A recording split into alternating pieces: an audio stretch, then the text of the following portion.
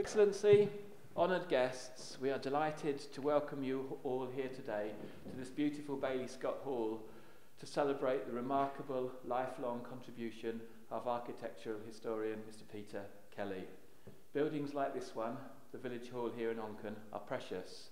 They represent beautiful design that brightens our daily lives. Well thought out spaces that we always imagine will be here that bring us together as communities. But these spaces do not survive the changing town and landscapes around us without people to champion them. There is perhaps no more fitting place to be than this special hall when we recognise the work of a tireless champion of the historic built environment in the Isle of Man. I'm going to waltz you through Peter's contribution to Manx cultural heritage, a contribution which has lasted for six decades and which will no doubt last for many years to come. Many of you will be familiar with some aspects and surprised by others, I should think, and I will not have nearly enough time to touch on everything he has achieved. Peter, if I may be so bold, is recognised far and wide for his research, writing and casework for the Isle of Man Victorian Society, for his support for the protection and preservation of the architectural heritage of the island, and for his entertaining and knowledgeable talks. Peter is someone you can turn to if you want to find out more. He is generous with his time and expertise to the great benefit of this island. In fact, it is the Victorian Society dimension to Peter's achievements which provided the opportunity for me to meet him two decades ago to discuss sources and evidence in respect of the house which we made our home back then. The nomination for Peter noted two milestones in 2020. It was 60 years since an exhibition of Edwardian postcards at the Manx Museum coaxed him into the library where he has researched Manx buildings ever since.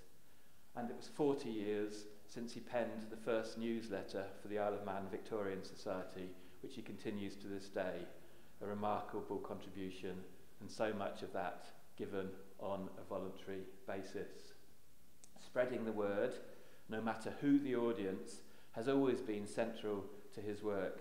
Peter has taught formal classes, given lectures and guided tours, written booklets and newspaper articles, produced broadcasts for Manx Radio, and has been invited to appear on international radio and television programmes that promote the Isle of Man and our cultural heritage.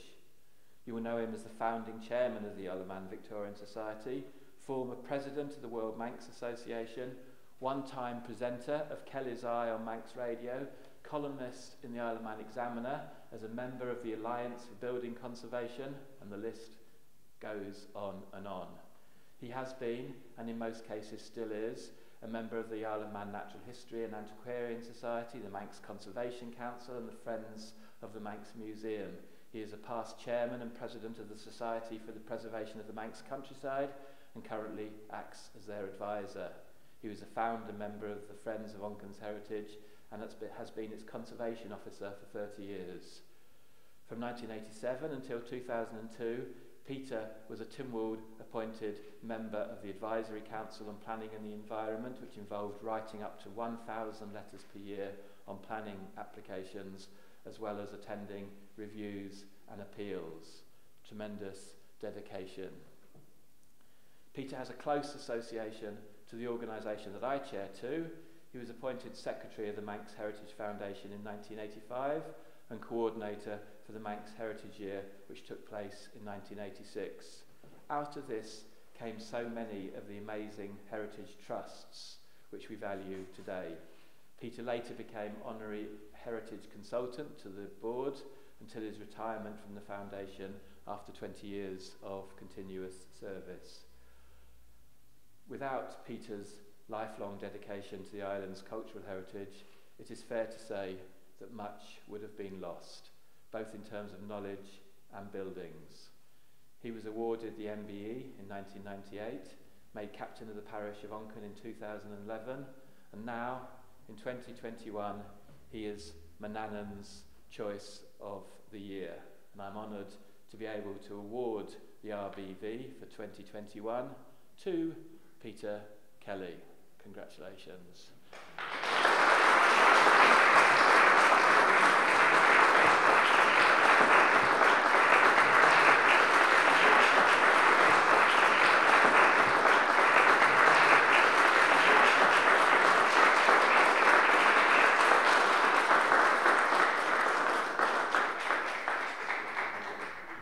Um, it's a great privilege to be here today and witness this very important award to Peter and his generosity doesn't surprise me in terms of this very important building.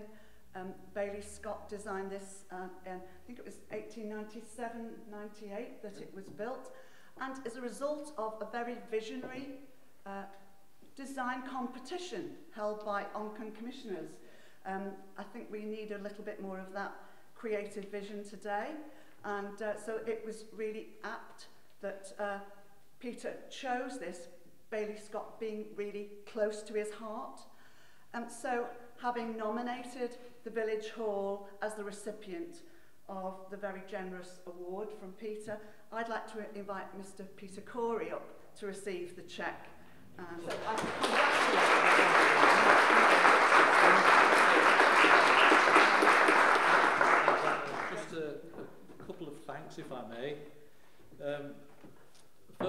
I'd like to say a really big thank you to Culture Vannin for this cheque, which has come at such an opportune moment for the hall as our finances are at a bit of low ebb after the two lockdowns that we've had.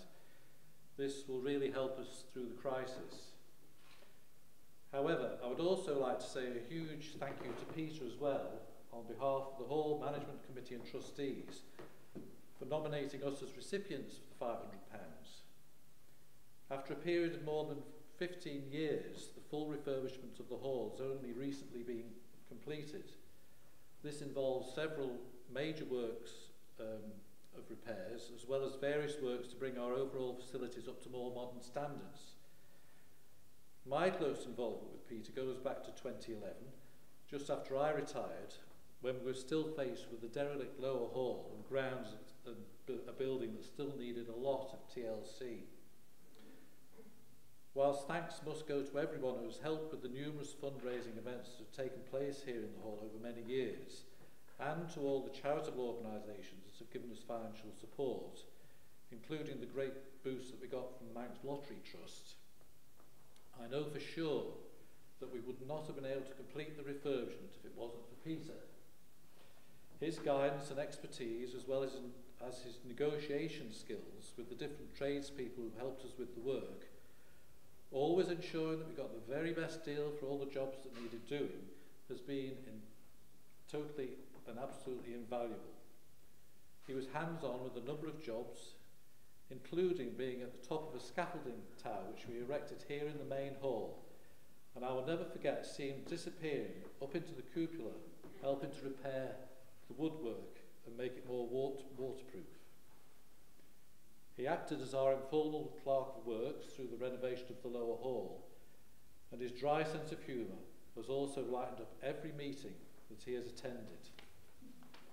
Anyway, we couldn't have done it without you, Peter, so congratulations on the award.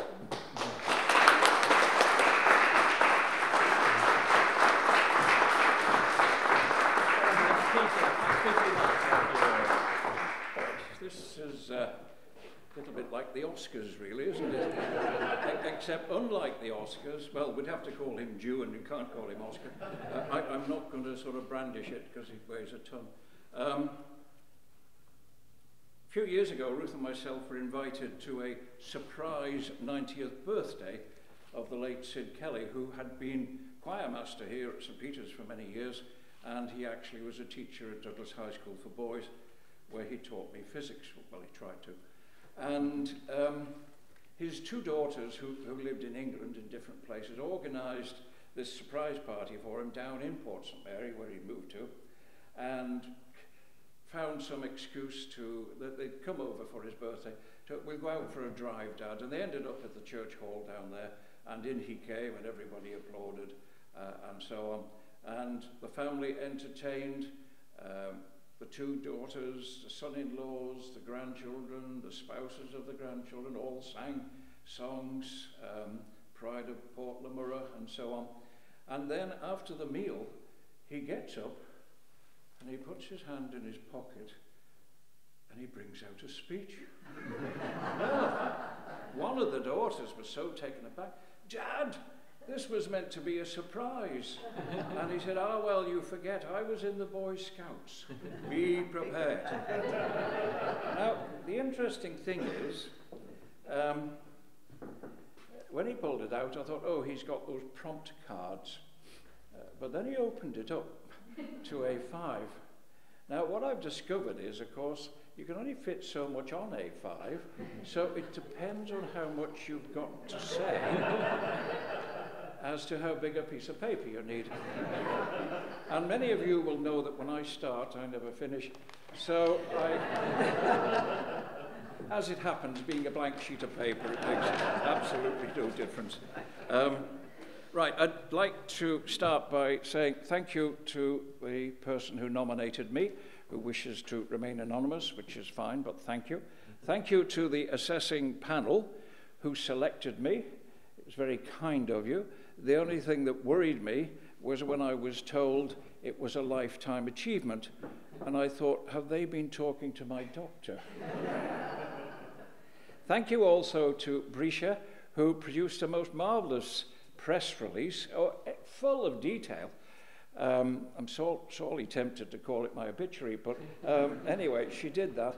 Although uh, I've now discovered that um, the former President Trump uh, was right there is false news because the newspaper decided to change bits. And so instead of my 60 years of research at the museum, they reduced it to 50.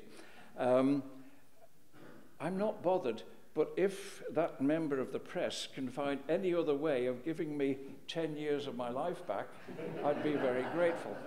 Now, it's sad to think, I suppose my, my lads here will say it's sad, But when I went into the museum 61 years ago now and started to research, I copied things into a notebook, and there it is from 60 years ago.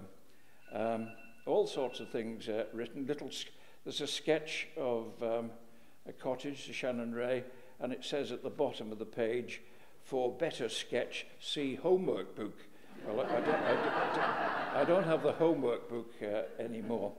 Um, Now, the late, he was known both as Stephen and he was known as Ken um, Quayle, who came up with the idea this was to replace the Manannan Trophy, which unfortunately was put into the hands of the museum by the late Deemster Eason for safekeeping, and they acquisitioned it so they could never get it back, as it happened. So hence uh, this was produced.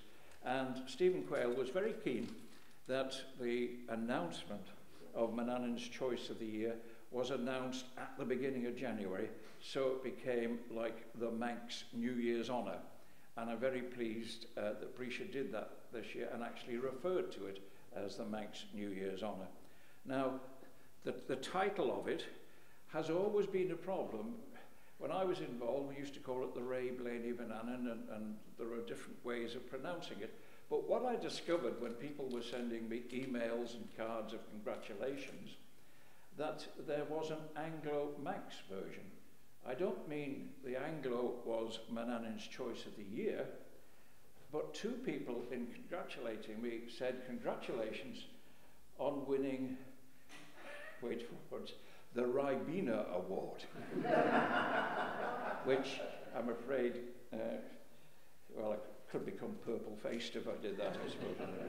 Um, what was interesting, uh, Risha was very good. I, I don't do Facebook. Many of you may do, but I don't. And she sent me a link so I could see the Facebook comments. And uh, I've written it down here. Uh, 526 likes, 113 comments, 36 shares, which in turn then had several other people. And what really amazed me is how 700 people have got the time to sit down going on Facebook and, and pressing buttons. Um, I'd also like to thank those who have sent cards, uh, emails and letters of congratulations. Uh, I'd like to thank those who have come. Now there are some here in, in official positions, uh, but when I was asked, you know, give us a list of who you'd like, I thought, well, okay, Ruth. And then she said, well, what, what about the boys? well, what about the... Anyway, they've all come. Uh, and then I thought, well, hang on, I could go a bit further. So, a bit like Noah, I've selected you in twos. So there are the two longest standing members of the Committee of the Victorian Society, two people from uh, ABC, uh, two people from Natural History and Antiquarian, two of the original members of the Manx Heritage Foundation, and so it has gone on. So you're, you're here in twos. Um, and finally, can I thank Breesha and Culture Vannin for laying on uh, refreshments which are actually being served downstairs. Um, it, it's unfortunate that we had that sort of lockdown uh, towards the end, uh, well, more or less at the start of January, because this presentation would have been a little earlier than it is. Um, consequently, with the delay, uh, we are now in Lent. Now, looking around, I know many of you have given up cake for Lent. but I, I don't want you to feel embarrassed about it because my three lads, none of them have given up cake. so don't, don't worry that there'll be some left. But thank you for coming. Thanks again to Culture Vannin. Thanks for everyone for your support. And uh, please, Isle of Man newspapers, give me another 10 years. Thank you.